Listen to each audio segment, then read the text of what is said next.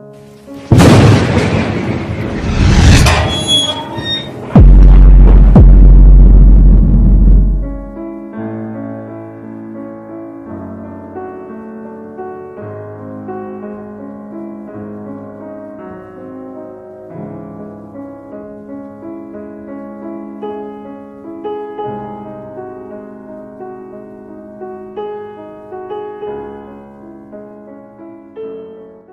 असलम दोस्तों। प्रोग्राम नाकाबिल फरामोश में बहुत खुश आमदीद। मैं हूँ आपका दोस्त मोहम्मद आबिद अली। कुछ वाक़ ज़िंदगी में ऐसे गुजर जाते हैं। ऐसे लगता हो कल की बात है, जबकि अरसा गुजर जाने के बाद भी वो हमारे जहन में ताज़ा रहते हैं। ऐसे ही हादसे कुछ दोस्तों के साथ पेश आए, जो हमसे शेयर कर रहे हैं। उनमें से एक है फ़हाद फैसल। भाई लिखते हैं कि अस्सलाम वालेकुम वालेकुम सलाम। वो कहते हैं कि ये वाक़ 2016 का है, जब मैं अपने वालिद साहब के साथ मस्कत में था। हम एक एलमिनियम की दुकान में काम करते थे और हमारा अक्सर एक ऐसी जगह से गुज़र होता था रात के वक्त, जहाँ से पहाड़ी इलाका शुरू होता है। और अक्सर हमारा वहाँ से गुज़र होता था। इसी तरह एक रात हम गुज़र रहे थे कि हमने एक औरत की चीखों की आवाज़ सुनी और वालिद साहब वो आगे बढ़ने लगे माजरा देखने के लिए कि क्या है। तो मैंने उन्हें रोक लिया। क्योंकि वहाँ एक अरबी रहता है, जिसने हमें बताया कि ये जगह पोजिस्ट है और यहाँ पर कुछ मखलूक़ और लोगों की शिकायतें भी हैं कि यहाँ से रोने की आवाज़ आती है। और कुछ लोग कहते हैं कि यहाँ पे जैसे कोई आपको बुला रहा हो, आप ही की नाम लेकर और कभी हंसने की भी आवाज़ें आती हैं। बिलाखिर, एक दिन दोबारा गुज़र हुआ तो हमने वहाँ पर स्ट्रीट लाइट्स बहुत कम होती है। रोशनी कम होने की वजह से दूर दूर तक की रोशनी आपको नज़र आ जाती है। तो वहाँ पर एक औरत की बॉडी नज़र आई हमें। और वो बॉडी की तरफ़ से एक अजीब सी रोशनी आ रही थी। तो खैर, मैं घबरा गया ये माजरा देखकर।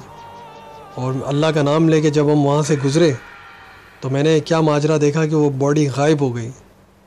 जैसे वहाँ पर कुछ था ही नहीं। कमज़ोर दिल का इंसान हूँ। इस वजह से मुझसे बर्दाश्त नहीं हुआ और मैं बेहोश हो गया। और उस दिन के बाद से हम कभी वहाँ से नहीं गुज़रे। दोस्तों, ये वाक़ मेरे साथ पेश आया। बिल्कुल सच्चा। ये लिखते हैं फ़ाद भाई। और फ़ाद भाई, बहुत शुक्रिया आपका। आपने अपना सच्चा वाक़ हमसे शेयर किया। और बढ़ते हैं दूसरी कहानी की तरफ़, जो कुछ दोस्तों ने हमें भेजी है। सुनते उन्हीं की ज़ुबानी, उन्हीं की कहानी। अस्सलाम वालेकुम आबिद भाई। आई होप के सारे सब्सक्राइबर्स अच्छे होंगे और, अल्लाह सबको खुश खुर्रम रखे आपको भी। और इंतहाई मशहूर हूँ कि आपने मेरा वाक़ शेयर किया। भाई वाक़ कुछ इस तरीके से है, तकरीबन आठ साल पुरानी बात है। सर्दियों के दिन थे, जनवरी की बात है। तो हमें हमारे अब्बू जो है वो मना करते थे कि भाई, छत पर मत जाया करो। तुम लोग छत पर जाकर खेलते हो, पतंग वगैरह उड़ाते हो, छत पर मत जाया करो। तो उस टाइम पे तो छोटे थे, कुछ पता नहीं था कि वो क्या बोल रहे हैं। बोलते थे, ऐसे ही बोल रहे होंगे। ऐसे ही मना करते हैं कि नहीं खेला करो शोर होता है लेकिन ऐसा कुछ नहीं था।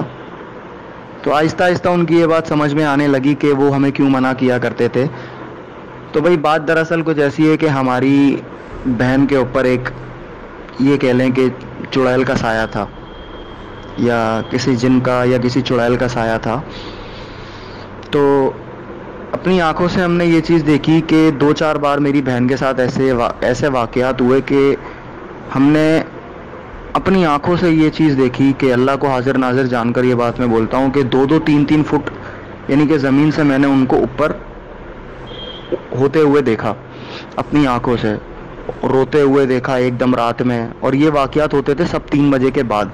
सारे वाक़ात जितने भी वाक़ात हुए, ये सारे तीन बजे के बाद हुए। एकदम आवाज़ बदल जाती थी। तो एक आलिम साहब को दिखाया, उन्होंने ये कहा कि भाई इस इस तरीके से मैं इनके ऊपर दम करूँगा और आप इनको समंदर ले जाएँ, जैसे किमाड़ी ले जाएँ, यहाँ से उस पार, इस किनारे से उस पार। तो अब वो ये बात कर ही रहे थे रात में कि भाई हम तुम्हें ऐसे लेके जाएँगे, समंदर के इस किनारे से उस पार। तो यानी कि वो मेरी बहन की आवाज़ ही नहीं थी, वो आवाज़ ही चेंज हो गई और वो ये कहती हैं बहुत खौफनाक आवाज़ में, कि शायद मैं वो आवाज़ आपको सुना पाता तो बहुत ख़तरनाक वो आवाज़ थी क्योंकि उससे हमारे ख़ुद के रोंगटे खड़े हो गए थे और हम लोग डर के लिए उस कमरे में जा नहीं, उस रूम में जा नहीं पा रहे थे कि यार ये क्या चीज़ है। तो वो ख़तरनाक और खौफनाक आवाज़ में ये कहती हैं कि तुम लोग मुझे ले जाकर धक्का दे दोगे समंदर में। बहरहाल चलती रही इसी तरह से कहानी। तो अब मैं वीकेंड्स पे क्रिकेट खेलने के लिए जाता था और अब भी जाता हूँ, क्योंकि मैं बहुत शौकीन हूँ क्रिकेट खेलने का। तो मैं चार बजे, पाँच बजे जब रात को क्रिकेट खेल कर आता था तो मैं ये वाला गेट नॉक करता था दूसरी साइड का, जो कि एक पतली गली में है। तो हमारी जो रूफ पर, बिल्कुल टॉप पर एक टंकी बनी हुई है। वहाँ से जैसे हम लोग पतंग उड़ाया करते थे और वहाँ पे हम लोग बैठ जाया करते थे। तो हुआ कुछ इस तरीके से कि बाल खुले हुए एकदम। और नीचे की तरफ़ ही जैसे कि कोई देख रही है, अब मैं गेट बजा रहा हूँ। रात को चार, साढ़े चार बजे का टाइम था। अब मैं ये बोल रहा हूँ कि गेट खोल दो गेट खोल दो। अब सारे घर वाले ज़ाहिर सी बात सो रहे हैं, मैं कॉल कर रहा हूँ, मेरी कॉल कोई अटेंड नहीं कर रहा। अब मैं थक हार के दूसरी तरफ़ आ गया, मैं आकर बैठ गया। मैं अब फजर की अजान का इंतज़ार कर रहा हूँ कि यार फजर की अजान हो, अब उठें फिर मैं जाऊँगा। तो बहरहाल, फिर मैं इसी तरीके से दूसरी तरफ़ गया दोबारा से। ऊपर मैंने देखा इसी तरह से बाल खुले हुए हैं और बैठी हुई हैं।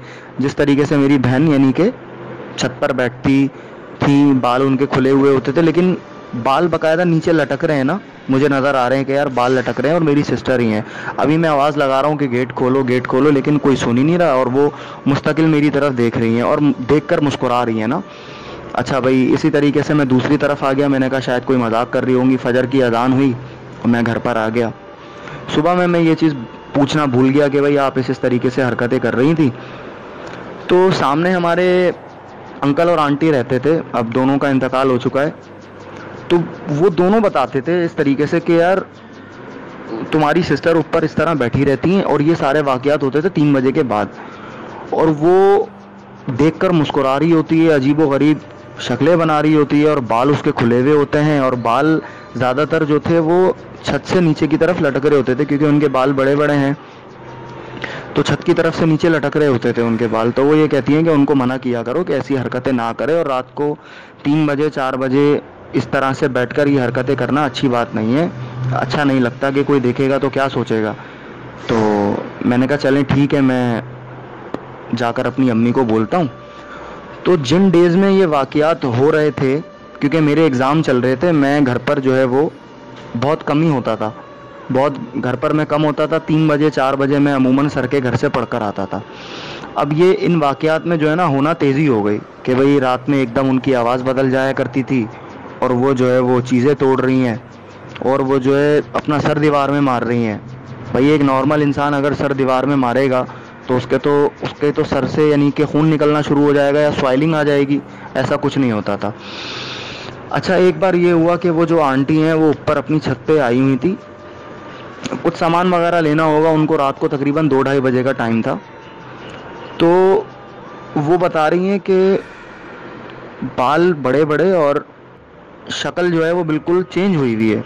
यानी कि इतनी खौफनाक शक्ल कि मैंने अपनी ज़िंदगी में इतनी खौफनाक शक्ल नहीं देखी। फेस जला हुआ और यानी कि अजीब व गरीब यानी कि जैसे आ, क्या बताऊँ मैं आपको लंबे लंबे कपड़े पहने हुए और जो ज़मीन पे लग रहे थे कपड़े यानी कि ज़मीन पे अगर वो वो चल रही हैं तो ज़मीन पे कपड़े लगते हुए आ रहे हैं। इतना बड़ा यानी कि ड्रेस पहना हुआ बड़े बड़े बाल लंबे लंबे नाखून मैंने अपनी आँखों से देखे।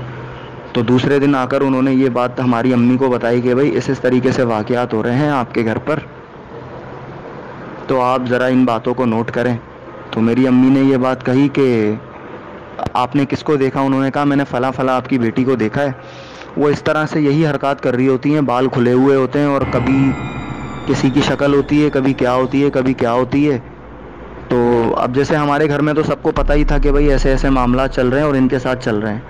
तो मेरी अम्मी ने, मेरी अम्मी को जब उन्होंने ये बात आकर बताई कि भाई इस इस तरह से दो तीन दिन से मामला चल रहे हैं तो मेरी अम्मी ने बोला कि हम लोग तो घबरा गए भाई वो तो घर पर ही नहीं है, वो तो बड़ी बहन के यहाँ रुकने के लिए गई हुई हैं। तो यानी कि इन चीज़ों का हमने बड़ा सामना किया और बड़े हम खौफज़दा इन चीज़ों को लेकर रहे। तो यानी कि वो चीज़ें अब तक चल, वो चीज़ें अब तक हो रही हैं, मुस्तकिल हो रही हैं, होती हैं अब तक।